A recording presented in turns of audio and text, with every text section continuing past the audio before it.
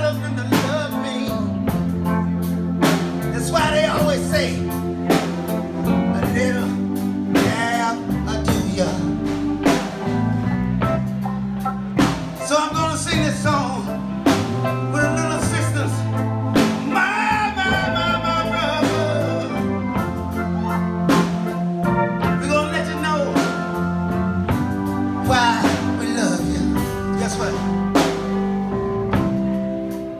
something's wrong.